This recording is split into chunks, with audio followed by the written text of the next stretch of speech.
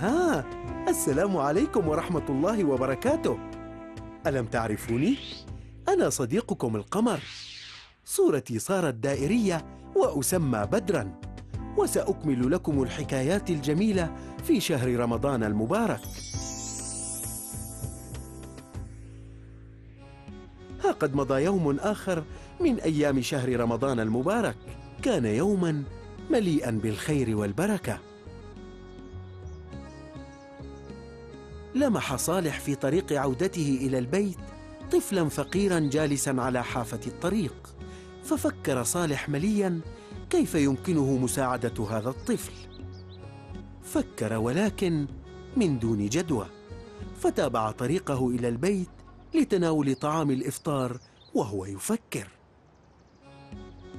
استغرب صالح لدى رؤيته أطباق الطعام الكثيرة. فسأل والدته لمن كل هذا الطعام؟ فأخبرته والدته أن هناك ضيوفا سيأتون لزيارتهم وتناول طعام الإفطار معهم.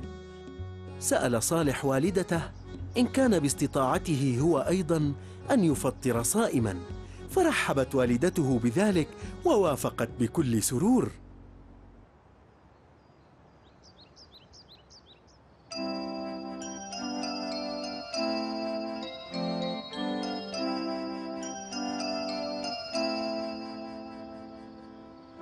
ففي إفطار صائم ثواب كبير عند الله تعالى. أطعم صالح ذلك الطفل الفقير حتى شبع وبذلك استحق صالح الأجر والثواب من الله سبحانه وتعالى. ها هو صالح في بيته يتناول وجبة السحور استعدادا لصيام هذا اليوم. آه. ستشرق الشمس بعد قليل وعلي أن أخلد إلى النوم. أرجو لكم صياما مباركا وإفطارا شهيا. إلى اللقاء.